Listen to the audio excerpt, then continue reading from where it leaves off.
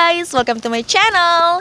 Buat kalian yang lagi dapat tugas ataupun lagi mau ikut lomba storytelling tapi masih bingung nih mau pakai cerita apa dan juga masih nggak tahu gimana sih cara melakukan storytelling, don't worry karena hari ini aku mau kasih contoh ke kalian melakukan storytelling dan ini adalah salah satu cerita favorit aku. Oke, okay.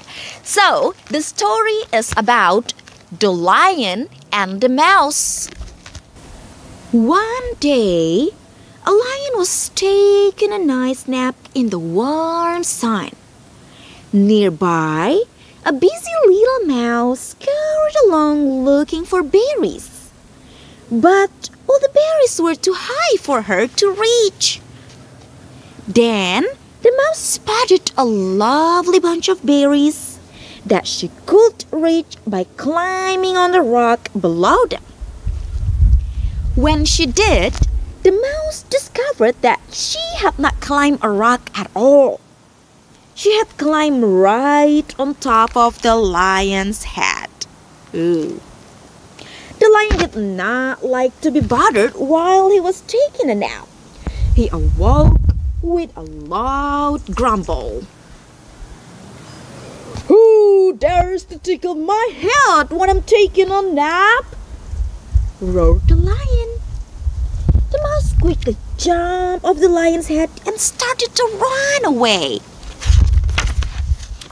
The lion grabbed for the little mouse as quickly as he could, but she was too fast, and he just missed her. The quick little mouse hurried to get away from the lion. She zigged and zagged through the grass, but the lion was always one step behind her. At last, the lion chased the mouse right back to where they had started. The poor little mouse was too tired to run anymore. The lion scooped her up with his huge paw. Little mouse, roared the lion. Don't you know that I am the king of the forest? Why did you wake me up from my pleasant nap by tickling my head? Oh, please, lion, said the mouse. I was only trying to get some lovely berries. Just see how much you like it when I tickle your head with my big claws, said the lion. Please, lion, pleaded the mouse. If you spare me, I am sure I will be able to help you someday. The lion stopped suddenly and looked at the mouse. The lion began to smile and then he began to laugh. How could you, a tiny mouse, help the most powerful animal around? He chuckled loudly. That is so funny. I let you go this time. Then the lion laughed some more. He rolled over on his back, kicking and roaring with laughter. The mouse had to leap out of the lion's way to avoid being crushed. Off she ran. Still chuckling, the lion got up and realized he was hungry. He set out to find some lunch, and it was not long before he smelled food.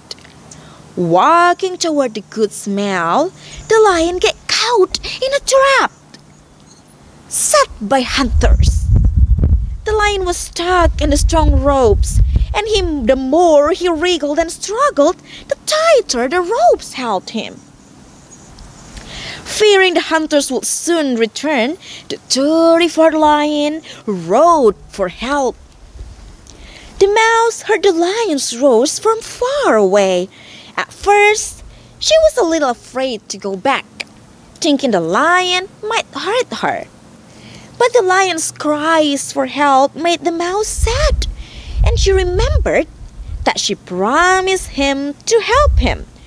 The mouse hurried to where the lion was tangled and trapped. Oh, lion, said the mouse.